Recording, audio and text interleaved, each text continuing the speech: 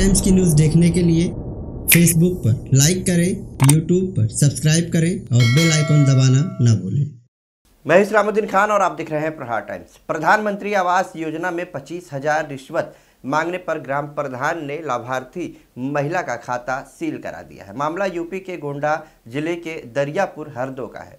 प्रधानमंत्री आवास योजना में एक तरह से बंदर बाट का खेल हो रहा है। रिश्वत दो आवास लो घास फूस के घर में रहने वाली पीड़िता, महिला और उसके पति रामविलास ने ग्राम प्रधान पर पच्चीस हज़ार आवास योजना के बदले में रिश्वत मांगने का आरोप लगाया है। रिश्वत न मिलने पर लाभार्थी का खाता सील करवा दिया गया है। वहीं जिला अधिकारी ने पीड़ित की बातों को ध्यान से सुनने के बाद मामला संज्ञान में लिया और वीडियो को जाँच के निर्देश दिए हैं। सर, प्रधान जी ने हमारे पास फ़ोन किया था।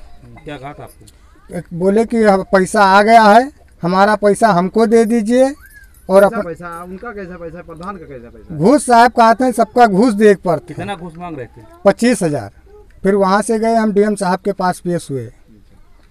तो डीएम साहब ने लिखा दरखास्त के ऊपर कि इसी वक्त सेक्रेटरी को सस्पेंड किया जाए और कल 11 बजे तक जाँच करके और ये रिपोर्ट हमारे पास पेश किया जाए। वहीं दूसरी खबर भी उत्तर प्रदेश के गोंडा से है, जहाँ अयोध्या हाईवे पर शनिवार को ट्रक और ऑटो रिक्शा की ज़बरदस्त टक्कर हो गई और इस टक्कर में तीन महिलाओं की दर्दनाक मौत हो गई है।